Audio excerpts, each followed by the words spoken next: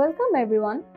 আমরা নেতৃত্ব অধ্যায়টা পড়েছি এবং সেই সাথে এটাও জেনেছি যে নেতৃত্ব কেন দরকার এবং নেতৃত্ব যিনি দেন তাকে বলে নেতা রাইট এখন একজন মানুষ যদি চায়, তাহলে অর্থাৎ সে যদি একজন নেতা হতে চায়, তখন তার মধ্যে কিন্তু কিছু গুণ দরকার। অর্থাৎ নয়তো তো দেখা যেত যে সবাই নেতা হচ্ছে বাট নো এরকম হয় না। তাহলে যদি একজন নেতাকে আদর্শ নেতা হতে হয়, তাহলে তার মধ্যে কি কি গুণাবলী দরকার? প্রথমত তার অবশ্যই এক্সপিরিয়েন্স এবং এডুকেশন থাকা লাগবে। অর্থাৎ আপনি যে বিষয়ে নেতৃত্ব দিবেন, অর্থাৎ আপনার কাজ কিন্তু তখন হবে যে এক দল মানুষকে আপনি হচ্ছে যে ডাইরেক্ট করবেন যে কোনো একটা কাজ যাতে তারা করতে পারে বা কোনো একটা গোল যাতে তারা অ্যাচিভ করতে পারে। সো ওই ক্ষেত্রে আপনার কিন্তু যথেষ্ট পরিমাণ শিক্ষা এবং এক্সপিরিয়েন্স অর্থাৎ এডুকেশনের এক্সপিরিয়েন্স কিন্তু দরকার পড়বে। এছাড়া কিন্তু আপনার পক্ষে সম্ভব হবে না যে আপনি একজন একটা দলকে পুরো নেতৃত্ব দিবেন এরপরে আমরা যে গুণাবলীটা দেখি, সেটা হচ্ছে সাংগঠনিক জ্ঞান ও দক্ষতা। এখন এখানে প্রশ্ন উঠতে পারে যে সাংগঠনিক জ্ঞান কাকে বলে? আচ্ছা সাংগঠনিক জ্ঞান হচ্ছে যে বেসিক্যালি সাংগঠনিক থেকে সংগঠন, আমরা একটু মিল পাই না দুটার প্রোনাউন্সিয়েশনে তো সাংগঠনিক জ্ঞান ও দক্ষতা কি? যে আপনি যে অর্গানাইজেশনটা বেসিক্যালি প্রতিষ্ঠা করছেন, সেই অর্গানাইজেশন সম্পর্কে অর্থাৎ যেখানে সেখানে যত মানুষ কাজ করে বা সেখানকার সম্পদ বা সেই পণ্য ইত্যাদি ইত্যাদি বিষয়, আপনার যে জ্ঞান থাকবে বা যে দক্ষতা থাকবে, সেইটাকেই বলে সাংগঠনিক জ্ঞান ও দক্ষতা। এখন এই জিনিসটা যদি না থাকে, অর্থাৎ আপনি জানেনই না এমপ্লয়িরা কি কোন কাজ কে করছে? অথবা হচ্ছে যে আপনি, আপনার প্রতিষ্ঠান সম্পর্কে তেমন কোনো আইডিয়াই নেই। আপনি জানেনই না যে আপনার প্রতিষ্ঠানের ক্যাপাবিলিটি কতটুকু। সো ওই সময় কিন্তু আপনার পক্ষে নেতৃত্ব দেওয়া সম্ভব হবে না। তাইলে আরেকটা ইম্পর্ট্যান্ট গুণ, সাংগঠনিক জ্ঞান দক্ষতা। নেক্সট যেটা, সেটা হচ্ছে শক্তি ও সামর্থ্য। What does it mean basically যখন আপনি নেতা হতে যাবেন অর্থাৎ আদর্শ নেতা হতে যাবেন, তখন কিন্তু আপনার সেই শারীরিক এবং মানসিক সামর্থ্য থাকা লাগবে। এটা বলতে আমি কি বুঝাচ্ছি? যেমন, আপনি হচ্ছে যে, আপনাকে কিন্তু চব্বিশ ঘন্টাই ভাবতে হবে অলমোস্ট দেখা যায় যে চব্বিশ ঘন্টাই নেতাদেরকে ভাবতে হয় যে, আমি কীভাবে আমার এই গোলটা অ্যাচিভ করব, কীভাবে আমার টিম এটা অর্জন করবে, বা কি কি স্ট্র্যাটেজি আমার নিতে হবে। তাইলে এগুলি যদি আপনি নিতে যান, তাহলে যদি আপনি শারীরিকভাবে দুর্বল হন, বা হচ্ছে যে, আপনি মানসিকভাবে ওরকম সামর্থ্যবান না হন, বা আপনার মধ্যে যদি সেই শক্তিই না থাকে, তখন কিন্তু দিন শেষে আপনি ওই একদল মানুষকে নেতৃত্বই দিতে পারবেন না। তাহলে আর আরেকটা ইম্পর্ট্যান্ট গুণ এটা। এরপরে হচ্ছে সাহস এবং দৃঢ় মনোবল।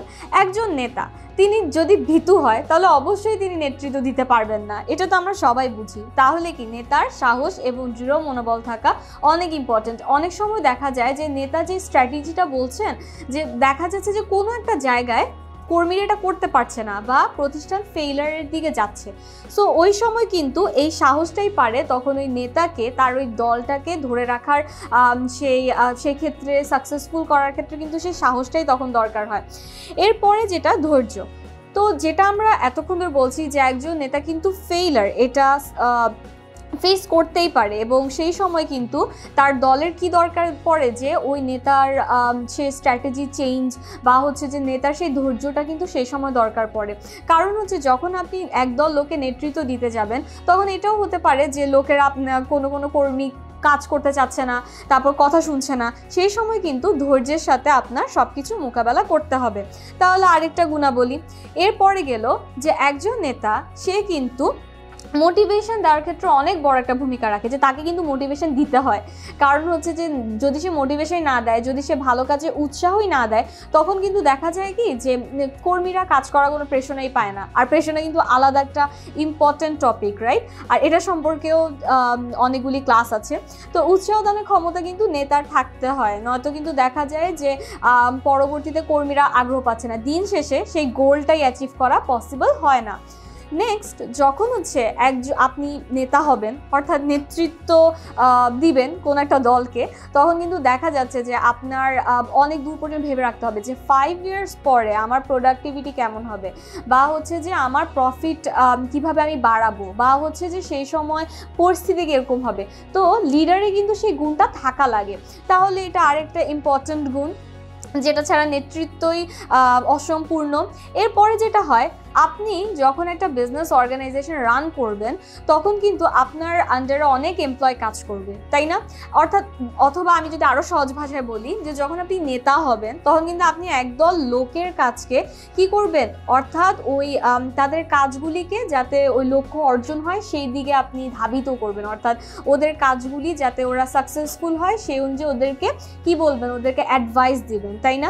তাহলে সেই ক্ষেত্রে কিন্তু আপনার এমপ্লয়ীদের সম্পর্কে আপনার জ্ঞান থাকা লাগবে যে তারা কোন ধরনের কাজ বেশি করতে পারছে, কোন ধরনের স্ট্র্যাটেজি তাদের জন্য বেশি লাভজনক হচ্ছে।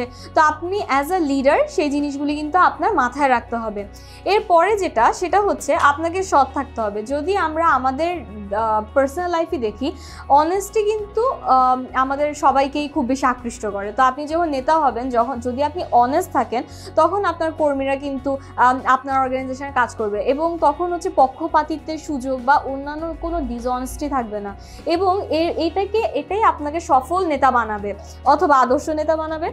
এরপরে হচ্ছে পরিশ্রম। এটা তো ইম্পর্ট্যান্ট একটা ভাইটাল এলিমেন্ট অ্যাকচুয়ালি যদি আপনি পরিশ্রম না করেন, কোনোভাবেই পসিবল না যে আপনি একজন আদর্শ নেতা হবেন।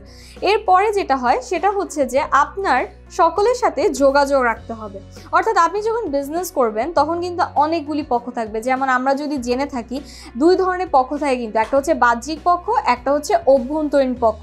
তো সেই সময় কিন্তু আপনার তাদের সাথে যোগাযোগ রাখতে হবে এবং সেই যোগাযোগের গুণটাও অ্যাজ আ লিডার আপনার থাকতে হবে। তা নয়তো আপনার এই আদর্শ নেতার গুণাবলীটা আপনার মধ্যে নেই বলতে হবে। And last but not the least সেটা হচ্ছে দায়িত্ব ও ঝুঁকি গ্রহণের মানসিকতা। কর্মীরা কাজ করতে চাবে না, সেই সাথে হচ্ছে আপনার আপনি অনেক দায়িত্বের একটা কাজ নেবেন, কারণ আপনি হচ্ছে সবার কাজ মনিটর করবেন। সো ওই সময় যদি আপনি ফেইলার হন, সেই সময় কিন্তু ফেলার হওয়ার একটা ঝুঁকিও থেকে থাকে। বা সেই সময় যদি আপনি কর্মীদের কথা না ভাবেন বা দায়িত্ব না নেন, তখন কিন্তু দিন শেষে দেখা যাবে যে আপনি আদর্শ নেতা হতে পারবেন না। তো এই জন্য আপনি যদি আদর্শ নেতা হতে চান, তাহলে কিন্তু এই বৈশিষ্ট্যটা আপনার থাকা লাগবে। এখন পরীক্ষার কথা যদি আমরা বলতে যাই, কারণ দিন শেষে আমরা সবাই একটা বোর্ড এক্সাম দিব। তো বোর্ড এক্সামের ক্ষেত্রে যেটা বলব যে, যদি আপনার উদ্দীপক এরকম কোয়েশ্চেন আসে যে মিস্টার এক্স কোনো একটা অর্গানাইজেশনে বা লিডার ছিলেন, তো তার মধ্যে এই গুণ ছিল। তো গ নম্বরে ধরেন একটা প্রশ্ন আসলো, তার মধ্যে আর কী কী গুণ ছিল না বলে তিনি আদর্শ নেতা হতে পারেননি? বা এই টাইপের যদি কোনো কোয়েশ্চেন আসে, তখন কিন্তু আপনার তখন এই অ্যান্সারগুলি বা এই গুণগুলি মাথায় রেখে তখন কিন্তু দেখতে হবে যে তার মধ্যে কোন গুণগুলি ছিল না। তাহলে আশা করি এই জিনিস এই ব্যাপারটা আমরা বুঝতে পেরেছি এবং সেই সাথে আদর্শ নেতার মধ্যে কি কি গুণ থাকা দরকার সেটাও আমরা ক্লিয়ার হয়েছি।